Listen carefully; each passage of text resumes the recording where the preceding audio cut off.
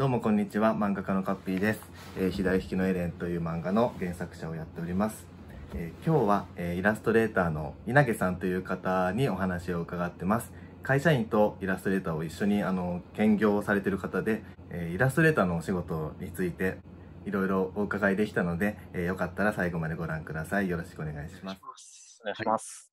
はい、で今回もあのライターさんとしてあの井上さん、えご参加いただいてます井上さんよろしくお願いします。あはい、お願いします。じゃあ最初に、あの簡単に、あの稲毛さん自己紹介お願いしてもいいですか？えっと、イラストレーターの稲毛です。えっと、イラストレーターとしては、まあ、ちょうど1年前ぐらいから本格的に絵を描き始めて、えっとまあ、自分の好きなものだとか、あと最近はお世話になった人の似顔絵とかを、まあ、ポップで少ない線で描くっていうことをやっています。で平日はあの会社員として働いていて、まあ、ディレクターだったりデザイナーのようなことを仕事としてはしています。はい、結構僕も似た経歴というか、あの、僕も航空業界でディレクターやって、デザイナーもやって、っていう感じなので、あの、すごい、あの、しん勝手に親近感が。稲毛さんもまだ若いですよね。僕は今26で、今年7になります。あ、あはい。そろそろちょっと、一回転職考えたりする時期じゃない仕事としてはあの働き始めてちょうど丸3年が経ったので、うん、ちょうどそういうところは考えましたね。石の上にも3年ってよく言いますけど。今イラストを描かれてると思うんですけど、はい。えっと、イラストのお仕事もされてるですか？うんと、それで言うと、それほどがっつりはやっていなくて、あの、スキルのフリマサービス、ココナラっていうので、あの、似顔絵案件を、まあ、少しもらってやっているっていうくらいなので、これからもう少し本格的にやっていきたいなって思っているところです。なるほど。イラストの仕事を頼むってすごいあの貴重な機会だけど、そういうサービスがあることで、なんか、ね、あの今だったら多分 SNS のアイコンとか、そういうのもいろいろ需要がありそうだなと思って。主に SNS アイコンに多分利用されている方が多いと思うんですけど、うん、15件ぐらいなんだかんだで実績が積まれてきたので、意外と引き合いがあるんだなっていう感じ、えー、すごい。なるほど。なんか今後イラスト一本でとか、そういうお考えはあるんですか？そうですね。そうできたらいいなって思って、うん、そしてカピさんにも せっかくお声かけいただいたので、なんだろう、この機会をいただいて、すごく頑張ろうって今思ってます。ああ、ありがとうございます。なんかそうですね。あの僕だからそのイラストを拝見して、あのインスタで拝見してすげえめちゃくちゃ好きなタイプのイラストだったので、これはちょっと僕もあのぜひお話伺いたいなと思って、今日楽しみにしてました。ありがとうございます。ツイッターでもグッシー書いてくれて。あ、そう。めちゃくちゃいただいてありがとうございます。ありがとうございます。で今回の,、まあ、あのコロナの影響で、どんな困ったことが最近ありましたか？あそれで言うと、まあ、イラストの話で言うと、えのこれからもっといろんな人に見てもらいたいなとか、まあ、今、ウェブ上での発信なんですけど、まあ、実際に手に取ってもらったりとか、あのカフェをやってる先輩がいるんですけど、そういうところに絵を置いて見てもらったりとか、そういうこともしてみたいなって思っていたので、発信の場、リアルで見てもらえる場っていうのがなくなってしまったなっていうのが、うん、もう少し先になりそうだなっていうところですね。なるほど。稲毛さんって、あれ、イラストって何で描かれてるんですか？iPad で書いている。プロクリエイトですね。ああ、やっぱりその、まあ、僕もデジタルで漫画描いてるので、デジタルで作ってると、その、ウェブ上にあるやつも、まあ、オリジナルデータと言えるじゃないですか。それはそれで、あの、まあ、現物って言えると思うんだけど、あの、それでもやっぱりその、ファンとか、将来的にその、お金払って、その仕事くれたり、作品買ったりしてくれるかもしれない、その、お客さんとかと、接する機会がないっていうのが、作品見るだけだったらね、あのデジタルだから、あのネットでも多分代替できてるんだろうけど、やっぱりその会う機会っていうのがやっぱ貴重なんだろうなと思って。そうですね。あのデザフェスとかも延期になってしまって、そうですね。SNS で見てる人に直接会えるの楽しみにしてたんですけど、うん、ファンとして。まあ、イラストや漫画の描かれるお二人に、まあ、表現者のお二人に伺いたいんですが、はい、表現するってその自分が表現したい、書きたいものを書くっていうのと、あと、受け手や読み手が欲しいもの、やニーズがあるものを計算して書くっていう、2つがあるのかなって思っているんですが、どちらのスタイルが自分に近いとか。えっと、僕は、その、基本的に、あの、人の意見は取り入れてなくて、あんまり、その漫画の、その絵、絵のトーンとか、話のストーリーとか両方なんですけど、あんまりなんかその、あの、いわゆる当てにいってないというか、少なくても今書いてる左利きのエレンっていう作品では、はい、そのその辺を全然無視して書いてて、何も考えずに書いた左利きのエレンがそのうまくいってるんで、なんか、多分僕は合わないんだろうなと思って人に合わせに行くのが。自分が本当に妥協なく自分が納得する面白いものを書いて、それを何人の人が気に入ってくれるかっていう問題でしかないかなって僕は思ってますね。その漫画家さんとか、そういう近い業界の人といろいろお話しする機会が多いんですけど、はい、その時によく言うのが、あの、ヒット作は計算で作れるんだけど、はい。大ヒット作は計算で作れないっていうのが、はい、なんかよく聞か、あの、ね、似たような話をいろんな人から聞くんですよ。だからそれはでも本当にそうだろうなと思って、その計算でなんか当てに行くのは向いてないかなと思います。最近その左利きの例の解説動画 YouTube でやられているんですが、はい、特にやはり書きたいものがあって、それをプラス、なんか計算でという形ですかね。そうか、計算っていう、そうか、はい、あの計算っていうのは、そうか、いろんな解釈があると思うけど、はい、そのこうしたら受けるとかはあんまり計算してなくて、そのこれを伝えたいから、その伝え方は計算してるっていうか、なんだろうな、あの料理で言うと、はい、こういう味にするっていうのを決めて、その味を目指してその研究して、あの科学して、あのその味に合わせるっていうのはするんですよ。でも、その味が世間に受けるかの計算はしてないっていうか、はい、自分が好みの味は完全に再現再現するためにすげえ考えてやるんだけど、マーケティングとかそういう意味の計算はしてないっていう感じですかね。稲毛さんはいかがでしょうか？うん、それで言うと、僕は今2つあるな、両方ともあるなと思っていて、まあ、例えば似顔絵だと、それは結構、その向こうのニーズに合わせて作るっていう仕事になってくるなと思っていて、まあ、その時に、もうまあ、人の顔とか雰囲気ってそれぞれいいところがあると思うので、その人らしさってなんだろうっていうのを考えて、まあ、絵に落として、まあ、気に入ったら気に入ってもらえるように、その人に気に入ってもらえるように頑張るをしてます。はい、最近は、その、いや、えっと、その自分が好きなものを描いていくっていうことをインスタグラムとかで実験していて、あとストリート系のファッションも興味があるので、そういうのを書いてみたりとか、はい、それを書いてみたら意外と雰囲気が好きですとか、うん、カップさんにも目に留めていただいたりとか、すごいいい機会がたくさん増えてきたので、なんかこれで暮らしていけるならめちゃくちゃ幸せじゃんって今、はい、るので、それを、なんだろうな、自分の好きなこととか、興味あるものを突き詰めて、引き続き走っていると、ハッピーなのかなって思っているところですね。多分稲毛さんの僕ってその同じようなそのデザイナー職っていうか、まあ、広く、もっと言うと、そのサラリーマン経験者じゃないですか。すげえ考えて狙ってはいないんだけど、なんか、なんだろう、その、無意識にある程度、その、ちょっと整えて出してるっていうか、すげえ計算して、今のニーズはこうだから、あの、はい、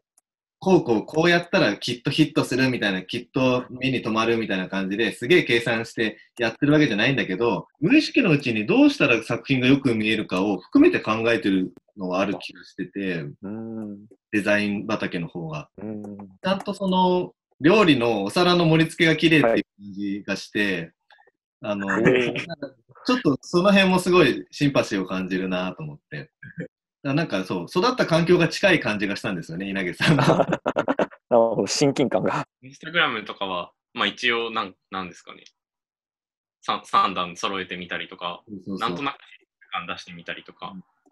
やってますね。多分ですけど、そういう作品の方が割と商品としては売りやすいんですよね、きっと。はい。職業にしやすい気はしました。なんかこういう仕事してみたいみたいなのあるんですか？おお、いや、うんと、そうですね、この話もらってすごい考えたのが、このスタートの企画じゃないですか、これ。そのそれでただミーハーな考え方なんですけど、うん、その自分の好きな作品に実際出てきた企画に自分が入ってるってすっごい嬉しいことだなって思ってて。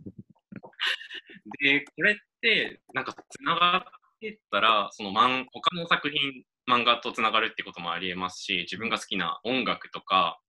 アニメとか、そういうところにもつながっていくんじゃないかなと思ってうん、アーティストのジャケットとか、お面とかでもつながっていけるといいなと思いますし、あと、あの左利きのエレンとかもドラマ化して主題歌がポルカさんで、はいはいはい、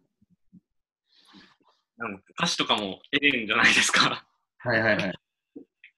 最高だなと思ってて、なんか、そうですね、これから生きていく中でそういう機会が、なんか作っていけるといいなって今思ってるですね。なので他のコンテンツとの掛け合わせが自分の作品とできてしたいなっていうのが今漠然と思ってる。うんいいですね。やっぱ、なんか、なんかできますかね、僕と稲毛さんで。おお 実際のアーティストの方が描いた絵をキャラクターが描くシーンあるじゃないですか。ああ、はいはいはい。そういうのとか素敵だなって思ってみて。なるほどね。あ、だからその劇中作として出てくる。あ、でもまあ機械、そうですね。なんか、あの、隙が、隙があれば出したい。なんか。それめちゃくちゃすごいやつだと思うんですけど。なんか、あの、隙あればぜひ使わせてください。はい。よろしくお願いします。よろしくお願いします。なんかね、コロナ終わったらみんなで展覧会とかもしたいなとか、いろいろいろいろ考えてます。うん、このつながりとかもちょっとあったら心強いですよね。だからこういうなんかコロナとかそういうのにも限らずだと思うんだけど、あの、僕だから漫画家の先輩ができて一番ありがたかったのは、あの、困ったら相談できることで、なんかやっぱりその珍しい、まあ、その世の中的にそこまで多くない職業をやってると、なんかその職業に関する相談がなかなかしづらいところがあると思ってで、特になんかその表現の仕事って、なんだろうな、その、うん、なんかさ、サラリーマンの会社員の悩みだったらさ、その多少業種違くても悩み聞いてもらえたりするじゃないですか。あの、その働く、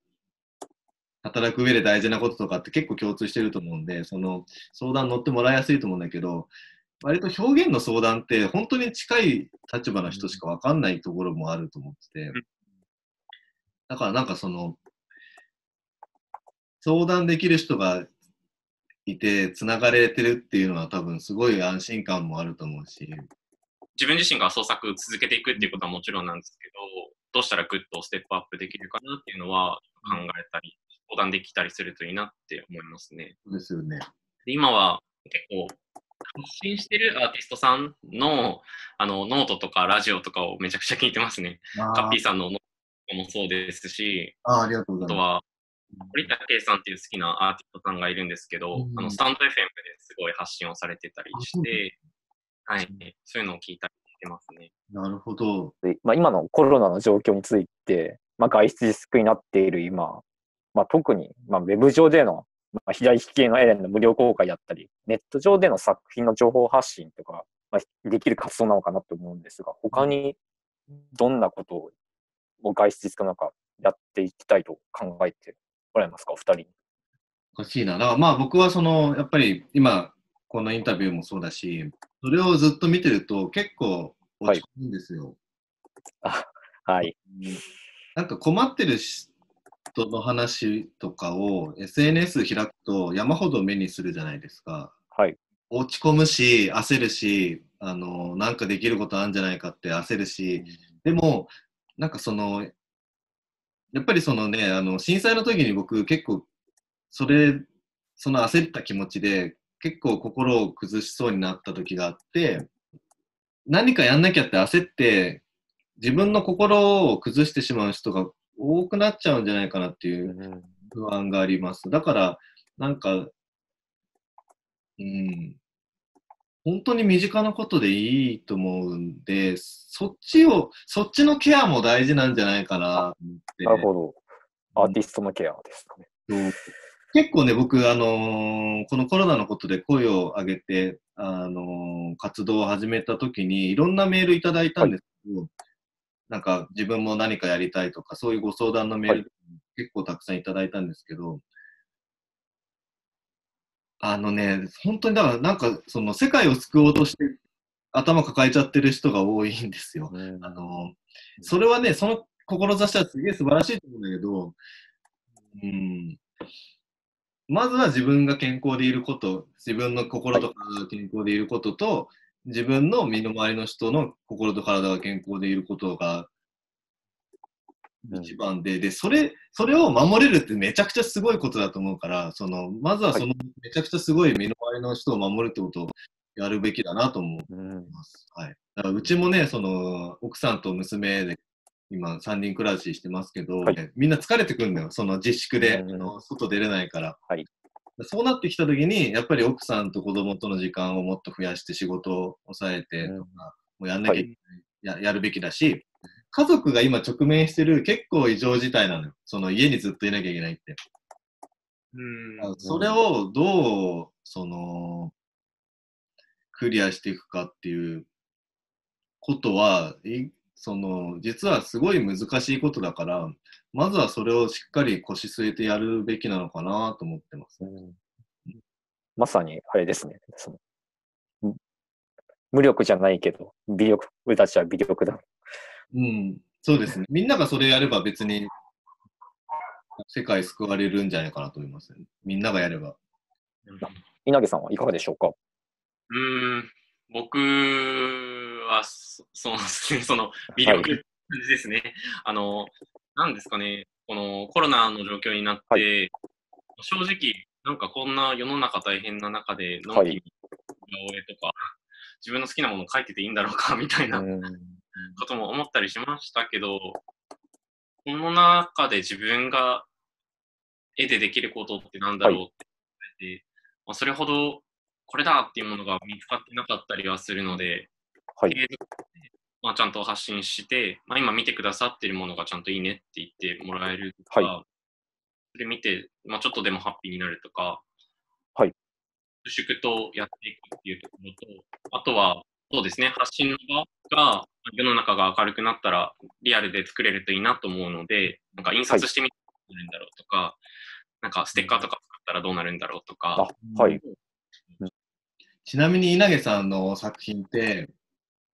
なんか T シャツとか作ってないんですか ?T シャツ、ちょっと、あの、ツイッターでそういう、ああったら欲しいですみたいな声をいただいたので、ちょっと作ってみようと思ってます。あと、今日、あの、絵を印刷してみました。おおいいですね。かわいい。意外と悪くなかったのでうん、入稿して、これコンビニプリントなんですけど、入稿して、なんだろう、配れるようにしたいなって思ってます。へえー、素晴らしい。なんかコラボ T シャツとか作りたいなと思って。え、やりたいです。なんか、やりたいですね。あのルーシーの絵がすげえ良かったから、コラボ T 作って、それの売り上げをなんかどっかに出せればなみたいな、チャリティー、チャリティー T シャツみたいな感じでやれたらいいなと思ったけど、その渡しか、渡す先がちょっと、なんかあん不勉強であんまり思いつかないんで、あの、聞いてみましょうか、誰かに、ツイッターとかで。そうですね。うん。なんだろうな本当はね、例えばなんかお世話になってる飲食店とかに、その、渡すとか、の方が、その、身近な人にはなんかその託した方がその効果も見えるし、その、その相手にとっても効果大きいから、そっちの方がいいかな。まあちょっと考えてみますね。うん、うん、そうですね。うん。とりあえずじゃあ、あのー、ルーシーの T シャツを、はい、あの AK5 で作ってもいいですか、じゃあ。ぜひお願いします。ありがとうございます。まあ、あの、ちょっとはなるべくその僕も頑張ってあの、えっ、ー、と、稲毛さんの作品としてこの、押していくんで、あの、まあ、あの、展覧会とか今できない状況ではあるんですけど、まあ、少しでも一人でも多くの人に稲毛さんの作品見てもらえたら僕も嬉しいんで、ちょっとやってみます。はい、よろしく、はい、やってみましょう。で売り上げは何か、あのー、えっ、と、世の中にとっていいことに使います。やはりお二人、まあ、デザイナー、ディレクターをやられて、やられていて、まあ、その稲毛さんは、まあ、現在もやられていてということなんですが、はい、やはり、まあ、サラリーマンと、その、その後のそのフリーランスで生活するようになった時の、まあ、一番の違いというか。えっと、多分ね、今のご時世だと、なおさら求められる働き方だと思うんだけど、はい。ね、電車に乗らなくていいっていう。あ、はい。でそれは、えっと、もう単純に電車に乗らなくていいっていう意味と、あの、まあ、自分で時間の使い方を決めれるっていうか、はい、その、はい、もちろんそのフリーランスの方が楽とかそういうのではないんだけど、その、はい、やっぱさ、あの、どっちも頑張んなきゃいけないじゃないですか。あ、はい。で、頑張る上で、その何に頑張るかをフリーランスは決めれると思うんですよ。うん。で、まあ、あのね、石の上にも3年ってよく言いますけど、そのやっぱり3年目ぐらいからね、多分ふふんわり考え始めることの一つとして、うん、あの俺はこれを頑張りたいんだっけみたいなのが多分あるんですよ、はい、今のとその頑張るのはいい。あの、頑張って仕事するのは素晴らしいし、やりがいもあるし、あの頑張るのはすごくいいんだけど、これだっけっていうのがたまにあるんですよ。やっぱ3年働くと。はい。で、あの、そうなってくると、やっぱりサラリーマンって、その自分で仕事を選べる立場ではあまりないので、あはい。フリーランスは、えっと、僕はそっち系の仕事は、えもうあまりややりませんとか言える仕事、うん、あの言える働き方だと思うんですよ、フリーランス。はい。だから、まあ、別になんかその偉そうに言うわけじゃないんだけど、その、やっぱり仕事を選べるイコール、あの、頑張りどころを選べるっていうのがフリーランスの最大のその魅力だと思ってて、はい。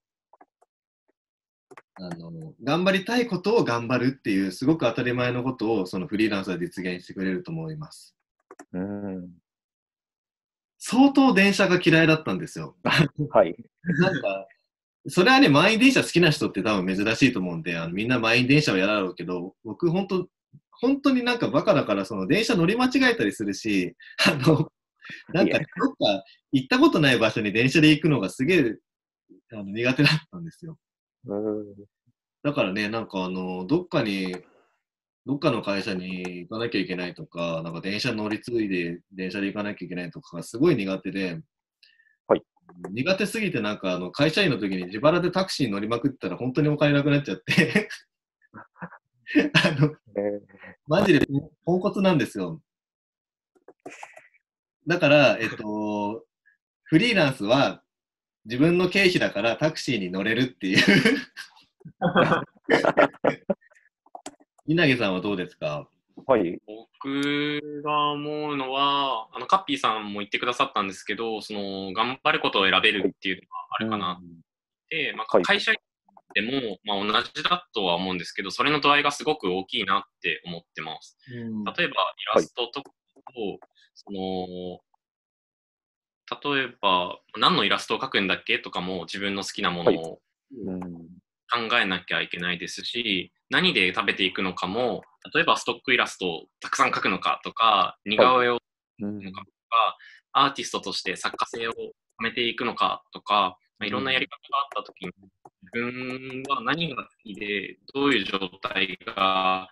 いいんだっけっていうのを、まあ、結構戦略的に考えて、粛々とやっていく必要があるのかなって思ったりするので、自分の好きなことを、はい、をとことん頑張るが結構ポイントになってくるのかなって今考えています。うん、まあ、あと、極端な話、今、会社員として働いてるので、お給料あって、あはい。逆算すると自分の時給がわかるわけで、うん、はい。そうなった時に、あの、似顔絵を始めた時とかって時給250円とかなんですけど、うん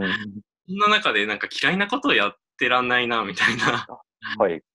感じはあったりするので、なんかどれだけ楽しい、自分の好きなことに引き寄せていくのかっていうのは、自分の中で結構大事なポイントですね。うん、そのいわゆるその頼まれ仕事、クライアントワークだとしても、自分が許せなかったそのクオリティ上げるじゃないですか、当たり前だけど。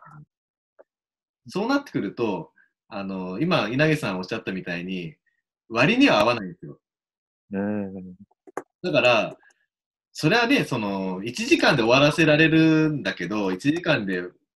わらして、この、コスパよく稼ぐことは可能なんだけど、